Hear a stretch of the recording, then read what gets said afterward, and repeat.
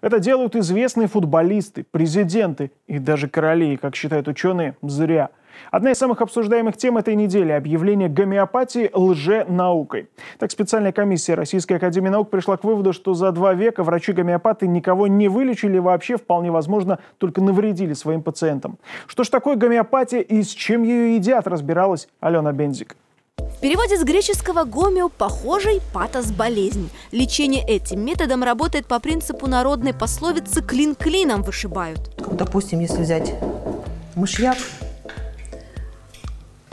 при отравлении мышьяком появляется озноб, тремор ну, и диарея. И, а если взять в малых количествах мышьяка, мышьяк, то можно ими лечить дизентерию.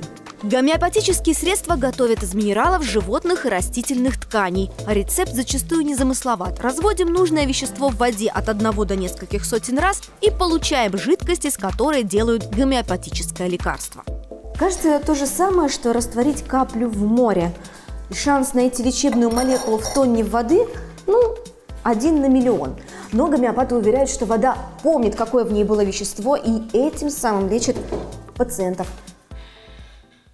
Как работают сахарные гранулы, до конца не изучено. Помогает железный довод излечившихся. Елене Асташенко не важны научные объяснения. Достаточно того, что гомеопатический препарат подействовал и вылечил ее. Я не стала лечить традиционными методами.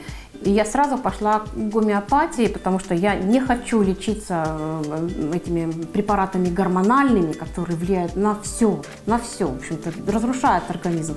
И я даже и не попыталась этим лечить препаратами, и поэтому сразу обратилась к гомеопатии, и результат отличный был. То есть я пролечилась гомеопатическими средствами, и, соответственно, все ушло и э, ушла в киста в яичнике, и ушли полипы.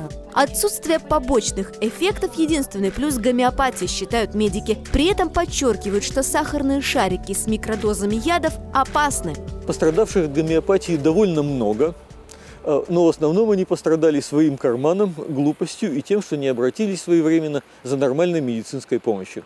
Обычно такие люди чувствуют себя дураками и не любят рассказывать, как они попались и лечили геморрой гомеопатическими огурцами. Доктор психологических наук Дмитрий Четверяков без сомнения говорит о гомеопатии как о лженауке. При этом профессор признает, что пациентам помогает вера в чудодейственные таблетки. Мы видели ситуацию, когда от невинного глицина, который, от которого не холодно, не жарко, который вообще никаким образом не влияет на, слава богу, на нашу внутреннюю среду, человек спал сутками. Он верил в это. Знаете, как святая вода. Она помогает. Помогает абсолютно здоровым людям. Но какой может быть эффект плацебо, если речь идет о животных? Ветеринарная гомеопатия популярна в сельском хозяйстве. Многие фермеры уверяют, что именно благодаря ей отказались от антибиотиков. Поэтому приверженцы гомеопатии обвиняют в лоббировании своих интересов фармацевтические компании. Алена Вензик, Артак Мурадян, Сергей Степанишин, Евгений Слепов, Алексей Попов. Омск здесь.